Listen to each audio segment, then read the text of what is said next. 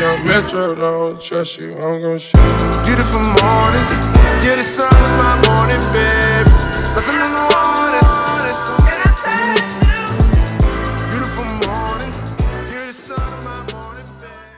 Samkvæmt íslenski orðabók er mannvit skilgreint sem vit, spekt og þekking.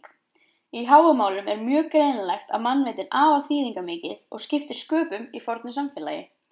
Ljóst er að það var lítil sem engin virðing borin fyrir mönnum sem höfðu ekki mikla þekkingu, aðlega vegna þess að þeir höfðu lítið sem ekkert ferðast. Í vísu 5 í háumálum er talað um erðileika heimskamannsins þegar það kemur á því að tala við vitra menn. Heimskimæðurinn á erfitt með að tala við gáfamannin vegna þess að hann hefur ekki ferðast jafn mikið og hann. Þetta var einnig við í dag þegar fólk sem fylgist ekki vel með atbörðum líðandi stundar og oft erfitt með að fylgja upplýstari aðalanum eftir í umræðinni. Í vísu tíu er sagt að mannvitið sé dýrmatar en fjö og að menn séu hjálparlausir í lífinu án þess. Þá er sagt að heimskir menn séu einmana vegna þess að þeir séu einir með heimskulegu hugsunum sínum og hafa ekkert vit.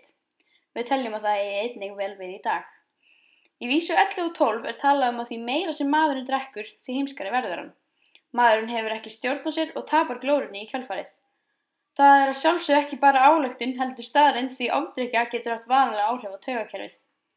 Í vísu 9 og 48 er aðlega að tala um líkilinn að sannri lífsgleði. Í vísunum er sagt að maður þurfa að hafa trú á sjálfum sér og að maðurinn þurfa að vera duglegur að hrósa sjálfum sér til þess að vera hamingisamur.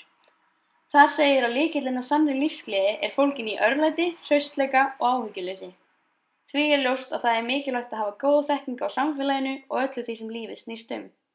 Fólk sem er með gott mannvit er oftar en ekki farsalega í lífinu, hamingjusamara og er síður einmana.